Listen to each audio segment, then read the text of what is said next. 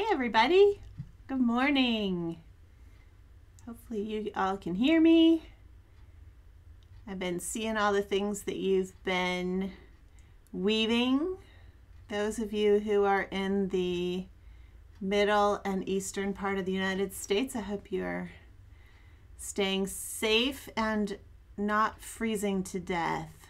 There's some crazy cold going on. Fort Collins is right on the western edge of that cold front because we're right up against the um, Rockies. So we had some super cold weather, but we also um, are more used to it in Colorado. So it's going to snow today because it's gotten a little bit warmer. It's up to like 10 degrees.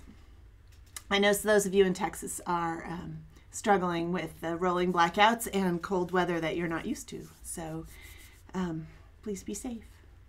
Good morning. I'm so happy you're all here from all over, from the UK, um, Canada, all kinds of places. It looks like my internet connection is being not so great. Hold on. I'm going to try one thing.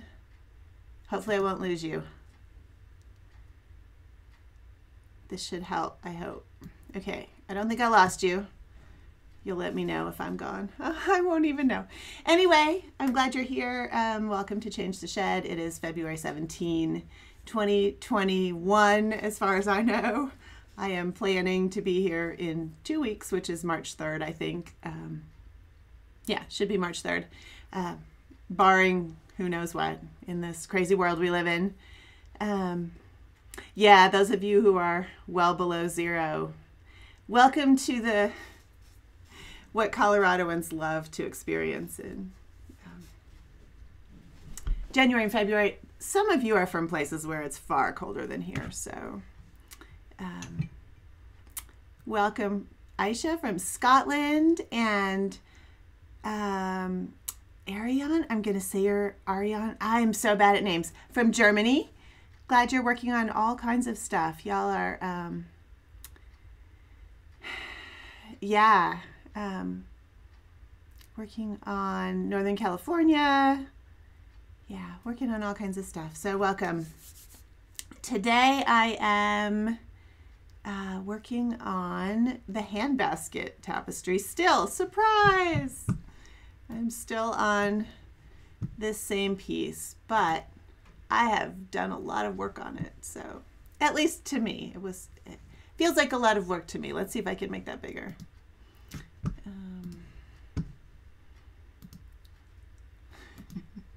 There we go.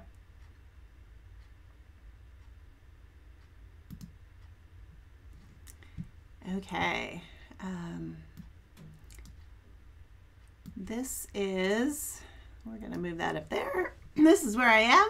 I think last time you saw this, I was hadn't woven any of those words, so I'm proud of myself. I know that um, it's a minor thing, but we have to take what we can get in 2021, right?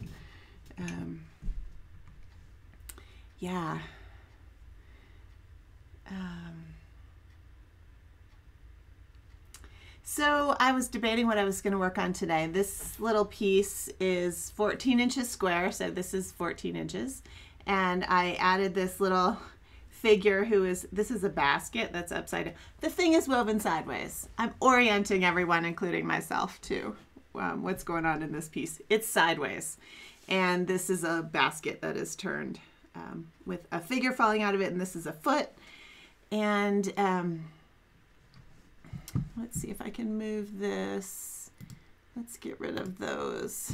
There, that should be better. And uh, so I started doing this uh, basket part, which was really fun. I used um, six strands of Weaver's Bazaar fine to do the basket and I really like but I did it at 8 ends per inch instead of 16 and I really liked how it made it look like a basket because of the um, really shiny worsted yarn and the um, 8 ends per inch versus um, the 16 over here so that was kind of fun Let's get rid of this tail. All right, I'm gonna start adding, um, this little figure has pants.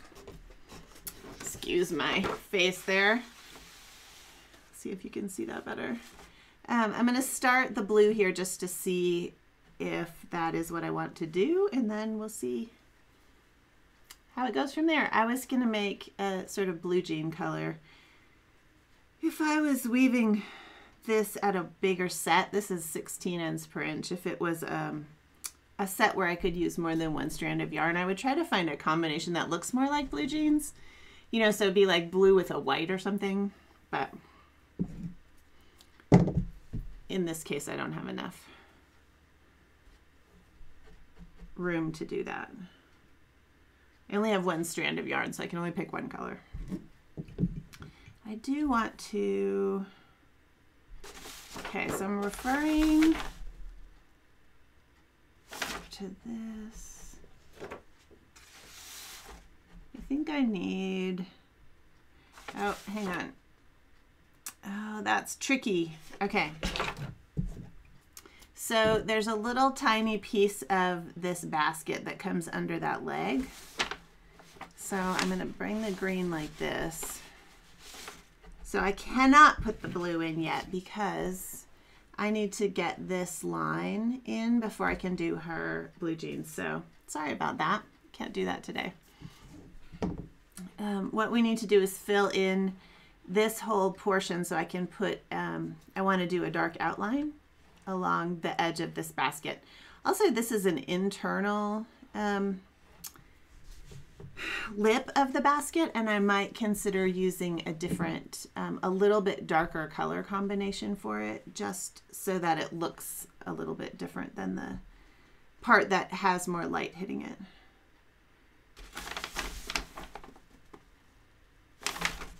I don't like how this looks. I'm going to redo this handle. I think that's going to look weird.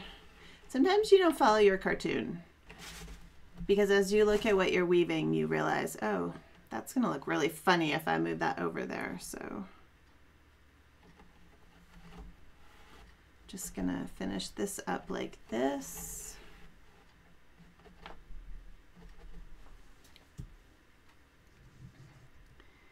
Um,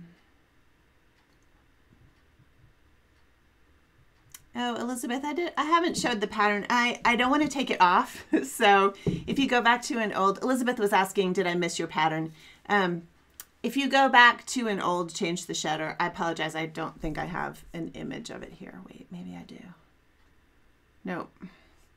Um, if I'm still working on this in two weeks, maybe I'll do that. I'll put an image of the cartoon uh, pop an image of the cartoon in here so I can show it. It's a, um, I don't want to take the pattern off because it's using these magnets, which I hate. We had a whole discussion about this. If I take these off, you're going to hear swearing because then I have to get it back on. So anyway, I'm not taking the cartoon off. It's a picture of, um, yeah, I'll show you later. Um, So I'm going to fill this in. I did go to, some of you saw that I went to two shedding devices on this Schacht. Um, the upper device is at 8 ends per inch and it's not perfect, but it does help. I'm still having to kind of pick that shed, but it is a little bit faster. Um, Oh, Marlena. So those of you in Texas who are here, I just figured nobody from Texas would be here today because no power, no water, no internet. Y'all are just troopers. Clearly, Marlena, you must have cell service. God bless you. Um,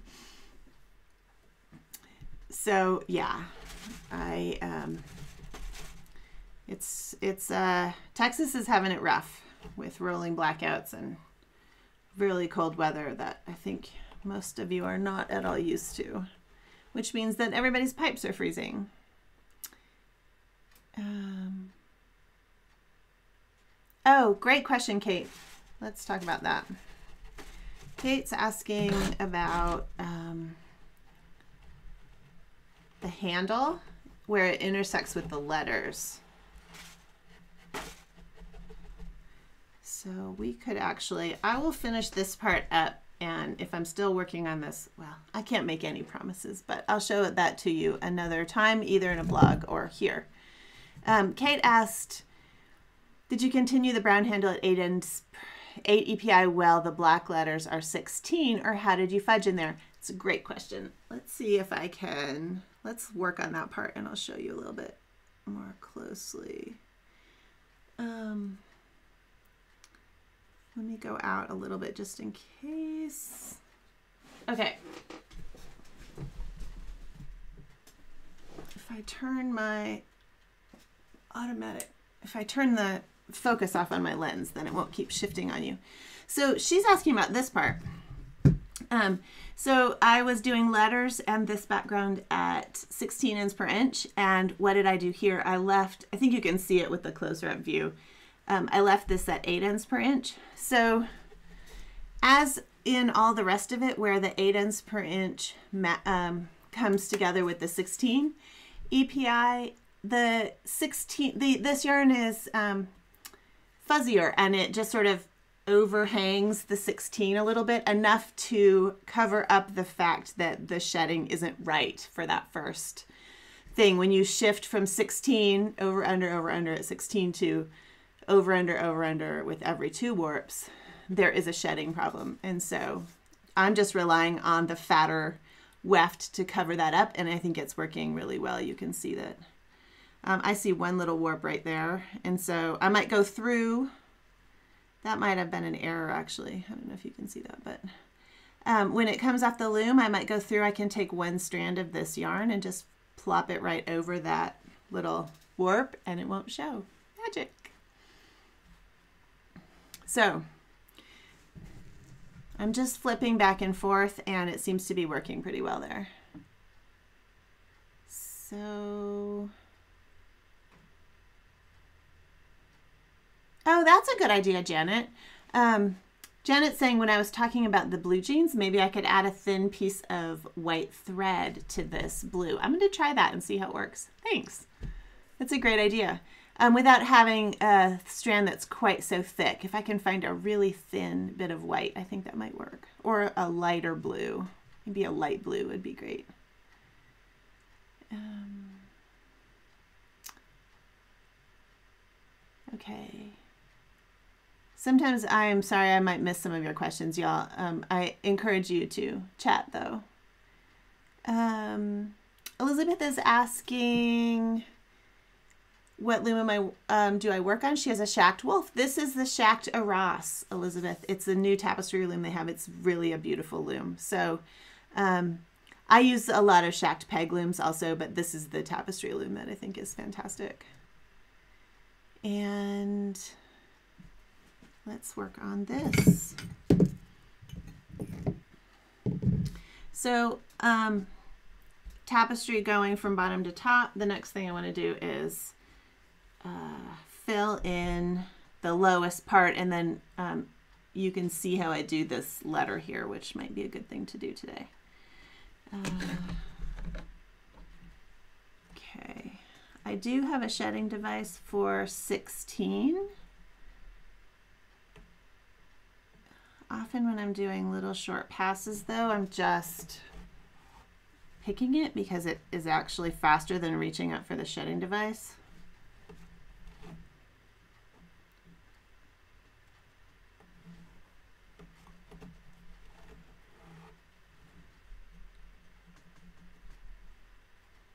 Um, okay.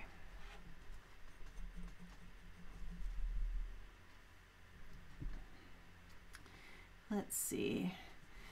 This is the trickiest part is here though with these letter forms to try to get the this one was easy because it was straight. The N had a straight part.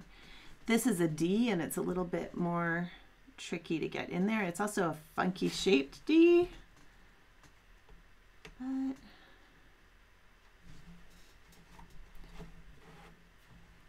the handwriting in this piece was um, intentionally, I wanted it to look like it was handwritten, like with a marker, because I am no Sarah Swett.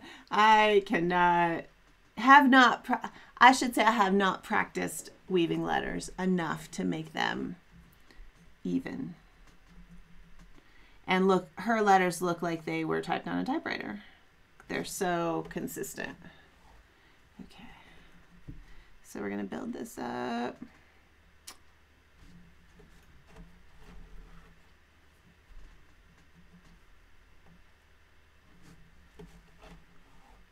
Making a little cradle for the edge of that D.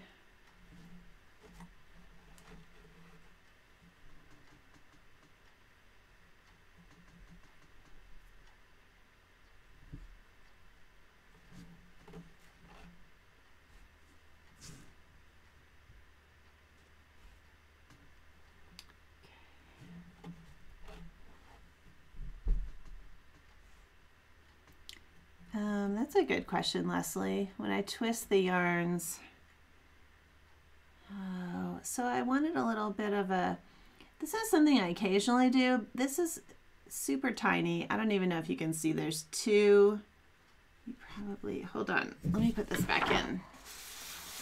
That might help a lot. There's two uh, weft relays here, and I don't want a super um, straight line there. So I'm just gonna see if this, I can cut the corner off this little thing, smooth that out a little bit, and then come back up. I think that will work. Just a little trick to get that. And then when I put that um, weft in for the bottom of the D, it should look a little bit smoother than it would. I'm also going to put that in eccentrically. Look at me, you guys. You've trained me to change how I say that word. Uh, I'm going to put it in eccentrically, so that will also smooth it.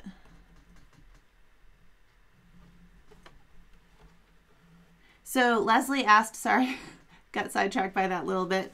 Um, do you twist the threads as you put them in? Do you go with the twist in the yarn or against it? Does it matter? It does matter. Um, but I have to say that when I did uh, this, I wasn't thinking about it. Now that you asked that question, when I twisted, I did twist these Weaver's Bazaar yarns as I put them in because I wanted them to look like a, a basket. I wanted it, instead of all of them blending together, I wanted it to look like, you know how in a basket it looks like there's a reed or whatever. It's a solid thing that goes over. I wanted it to have a bigger um, bead. Bead is the word. Uh, so I did twist it, and I just naturally, without thinking about it, um, with the singles yarn, always twist right because that is how I would ply this yarn. But if I were actually to do this correctly, um, this is a two ply yarn and the ply should actually go the other way. So I should be twisting it this way. I don't notice a big difference, but um, it does actually matter that you ply in the opposite direction of the last ply. If you're going to ply something that's already plied. Um, that said, I don't really notice that much in tapestry, the difference. So because it all gets crammed together, it might make a difference with some yarns, but it's a good question.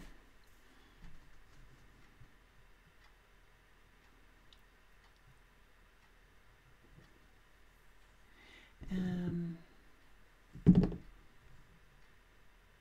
yeah, Chris is saying um, in her hand spinning, she hand spins Z and plies S. That's a notification or a nomenclature. I am not finding words today. You twist one way and then you twist the other, and every time you twist a bundle of yarns, you go the opposite way. S and Z just indicates which way the twist goes when you look at the yarn. Uh, okay, let's open the shed. So this is one of those moments where I'm, yeah, I want it in this shed, where I am going from 8 ends per inch, where this um, basket color is, to 16 in the letters. And this will be interesting because I will have this basket color on the inside of that D. And these are the sorts of decisions you have to make. So this little, let me close this. So the little center of the D is right here. And just by happenstance, I was looking at this warp. So I think I will make the decision to make the bottom of the D with the green, these two warps wide. Otherwise, I'm going to have one warp of this background color and the rest of this um, gold. And I'm not even sure you'll be able to see that. That would be um, a fair amount of work and I don't think it would be worth it. So those are the kinds of form decisions you have to make. Just that that won't work well with the tapestry. So I will decide to do something that I might not have done in a different situation. Okay, I am doing a full sequence of this eccentric. One thing I do like about this loom is that there's more room between the sheds, between the layers of warp, so I can actually get my hand in there.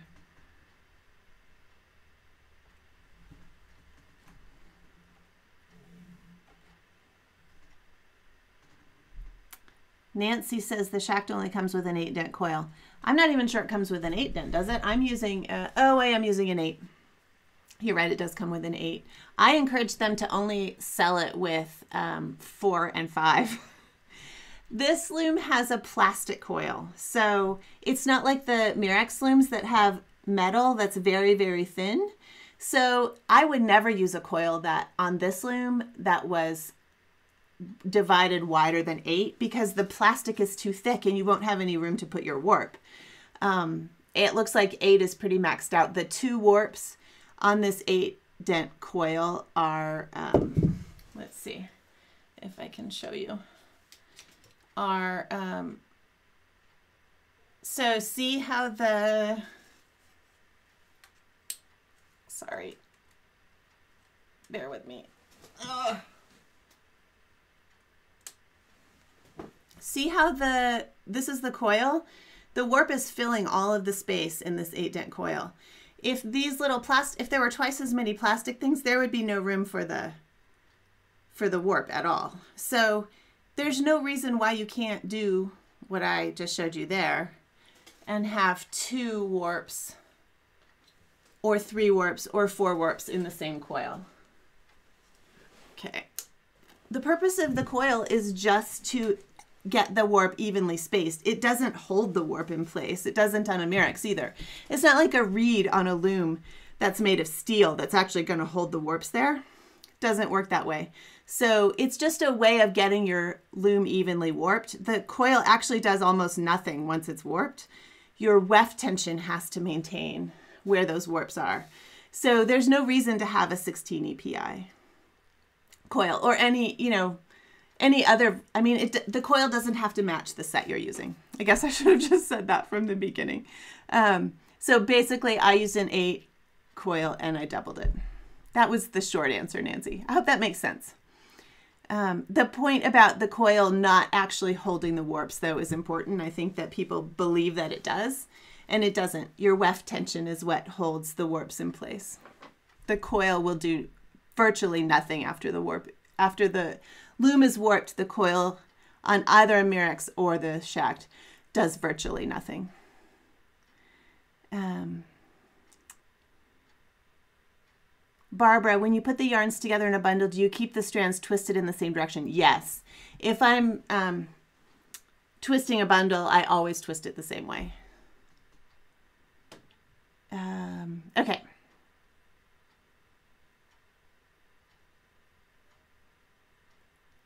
The coil's not really like a rattle. Um, it's acting like a rattle. I guess that's a good comparison, Dana. That the coil is sort of acting like a rattle. That you could um, have different numbers of warps in each one. Um, a rattle is um, probably going to do a better job of keeping the warps in place than the coil will. But okay, I said I was going to show you this. So if I would stop talking and start weaving, you might get to see. Let's see. Let me move. Let's just move that down. Mm, how about that? Am I making you sick yet? Okay, you should be able to see that better. Oh, not sure I'm going to be super happy with this curve, but we'll see.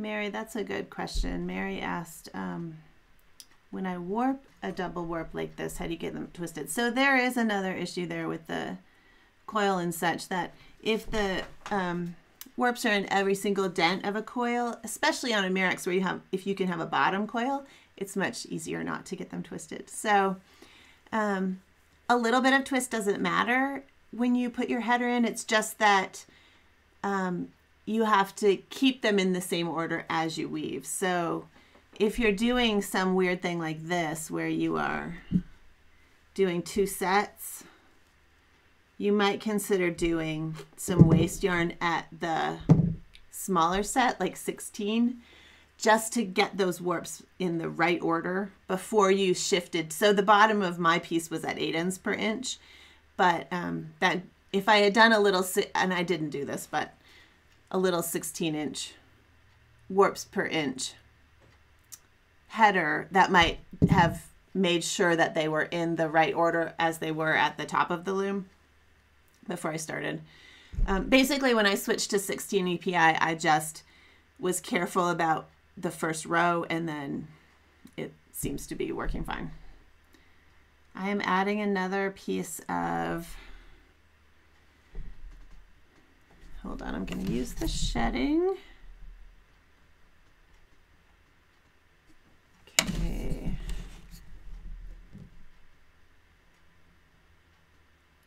I want this to go this way in the shed.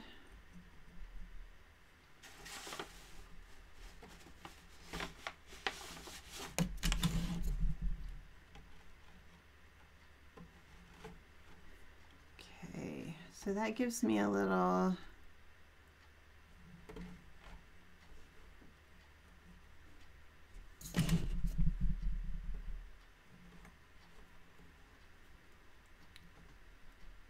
Now let's fill that center of that in,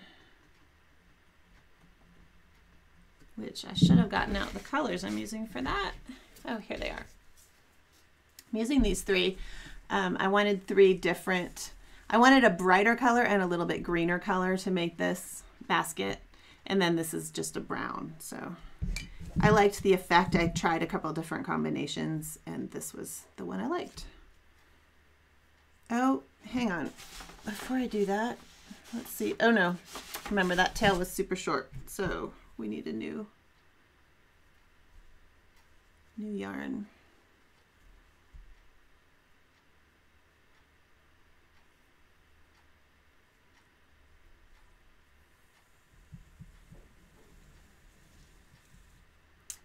Know this is going to continue, so I'm going to make it a little bit longer.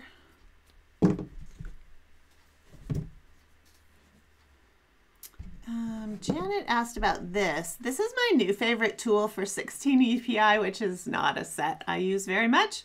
Um, this is uh, from, oh, I should have brought his other bobbins. Um, he does, this is one of his bobbins too. Um, Andrew Dickinson is his name. Wow.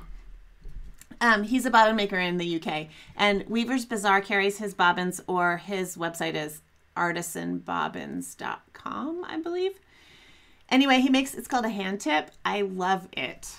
I have to say, for picking, I'm not a big bobbin user, um, but I think this is the best tool I've used in a long time for this really fine work. I really like it. So it's beautiful.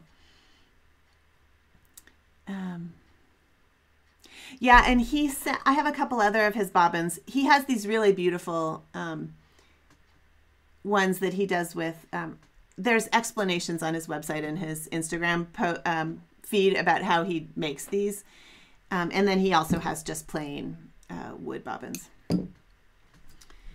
Um,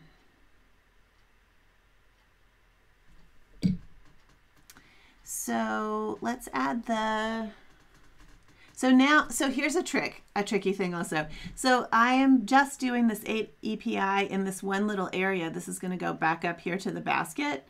And so I have to make sure that it would be ideal if the way the over under worked here matched up with this part, which will also be at 8 ends per inch. So it would be ideal if I get the pairs of warps correct. Um, So I can see here, and because I have the shedding device, it's not quite so hard to do that. If I see where my pairs are. Um, oh, look at that. Because I'm talking and not paying attention, this bundle is only half the size it needs to be. I need actually six strands, not three.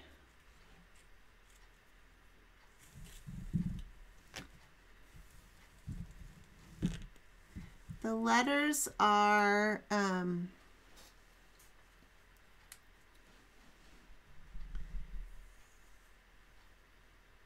one strand of Weaver's Bazaar Fine at 16 ends per inch. And this is six strands at eight per inch. I often have people think there's a more direct connection between number of strands. Like they would say, oh, you use one strand at 16, so you use two at eight.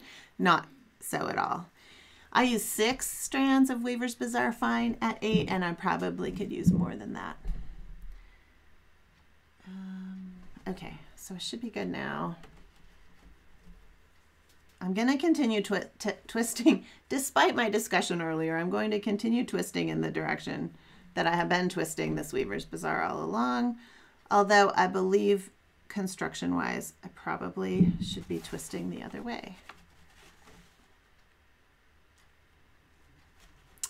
Okay.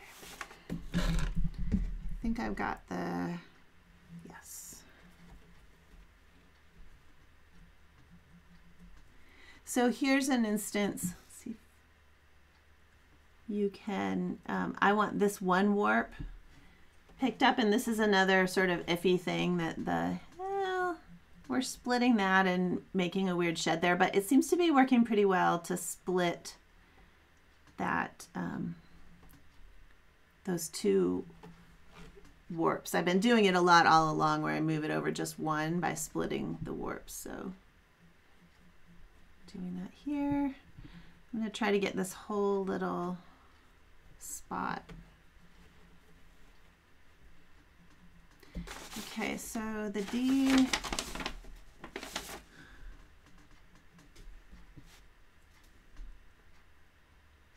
want that to come up I'm going to wrap this one more time and we'll see how it looks. And I might have to take it out, but my guess is if I do this,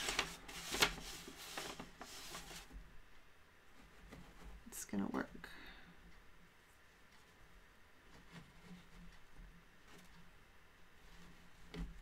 Okay. The other thing is to make sure that that it's that the it's wide enough you can actually see the letter that it doesn't get covered over by the I wonder if I've changed the focus of my camera. No it is changing. Okay. Sorry for those of you who are saying it's a little bit blurry.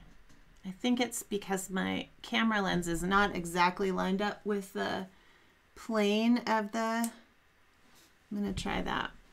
If the camera lens is, is tilted as to the plane of the weaving, the depth of field isn't deep enough because I have it on auto and there's not fantastic light. Anyway, parts of the plane are in focus and parts are out, for which I apologize. Ooh, I'm so far not liking this D very much. Okay, so then the same thing when you go back to 16, you have to make sure that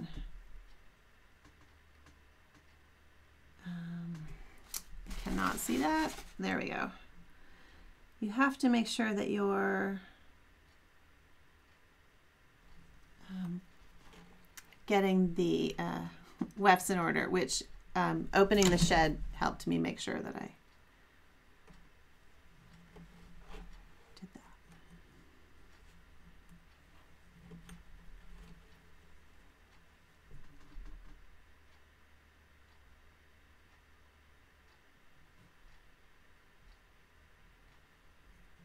Not having, I don't think I'm having trouble with the Wi-Fi. I turned it onto the Ethernet connection, so I don't think the Wi-Fi is on my end, but could be wrong. it, just because it looks good to me doesn't mean it looks good to you all. Okay. I'm gonna do this. See how it looks.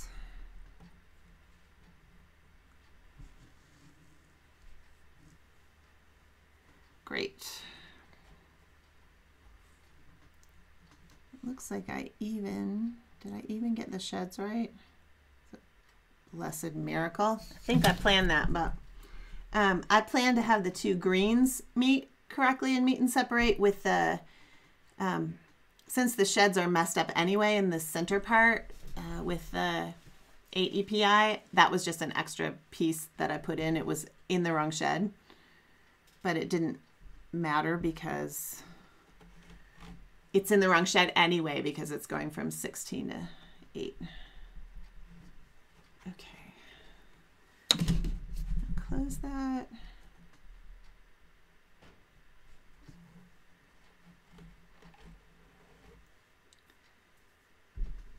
Oh, good. Some of you are saying your picture's okay, so that's good.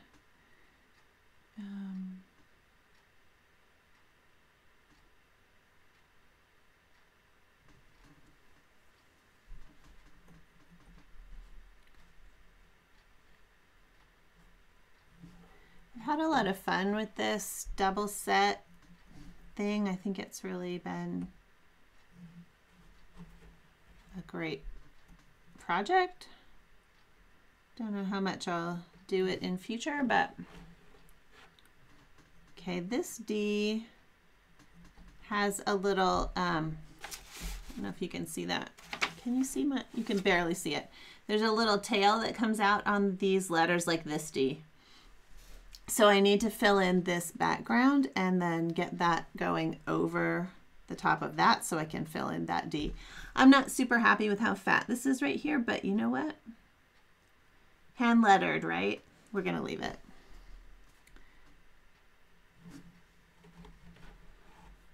So this would need to be filled in.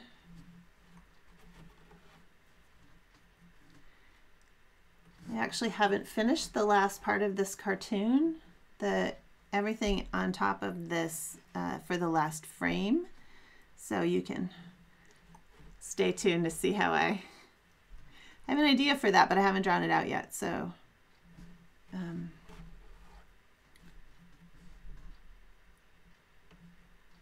we'll see how that looks. I might be getting there this week.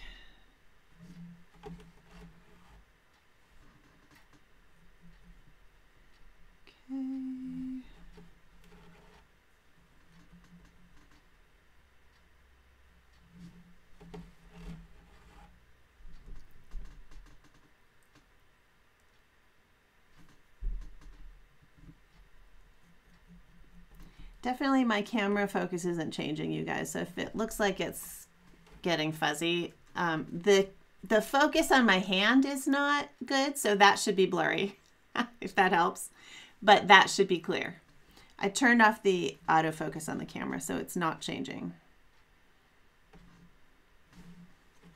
Just so you know whether you're, it's your eyes or your internet. Um, oh, here's something. There's so many things to remember at once.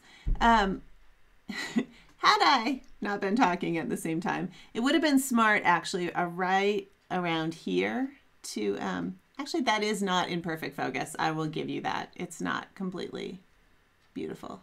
Um, I would have done a little hook with this smaller uh, yarn into this. So I probably will um, add a little stitch there when this comes off the loom. I don't want to unweave that part. I usually sew my slits as I go. Many of you don't do that, so. I was using the advantage of the fat, um, let's see, the fat, fatter yarn to cover up a little cheat where you connect two pieces um, with the thinner yarn instead of actually stitching. These I'm stitching because it's uh, 8 ends per inch. That is Oh, my finger's in focus. Yeah, the focus isn't perfect. It's, I apologize. We'll try again in two weeks and see if I can get it in better focus.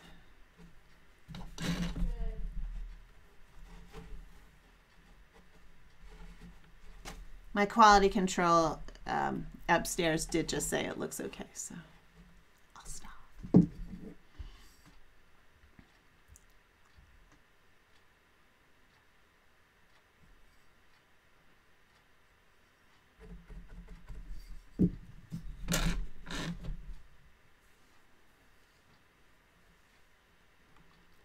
Okay. Jan has Janet Austin has good tips. If you guys don't know Janet, she is a long-term, very experienced tapestry weaver. She has awesome ideas, and you should go check out her blog to see all of her work because it's fantastic. Um, but she's saying she likes the um, split warps for a lot of reasons. That it can help you anchor yarns, and you can make the um, slits between two warps, which makes them tighter. So great tips, Jan. Um, using this all the time, the doubled warp all the time, even if you don't weave at a double sett, is a really great tip. Okay, so what I will do from here is, look at that. This could be my eyes, but oh yeah, it looks a little darker there. Anyway, this is hand dyed, so there are splotches where it looks a little bit darker. Um, I love working on this once I get going, so I will just go on and on forever. But it looks there like the that might actually work out. You're going to be able to see that that's a D. And uh, I'll let you know how it goes um, in two weeks.